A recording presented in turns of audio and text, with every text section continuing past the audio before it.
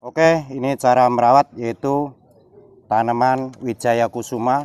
Tanaman Wijaya Kusuma ini di untuk tanaman gantung cara merawatnya digemburkan media tanam karena tanaman ini sudah lama ditanam di pot.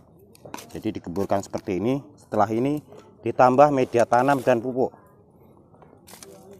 Cara berkala ditambah media tanam dan pupuk disiram satu kali sehari yaitu pagi atau sore hari. Tanaman ini diperbanyak dengan sistem stek batang.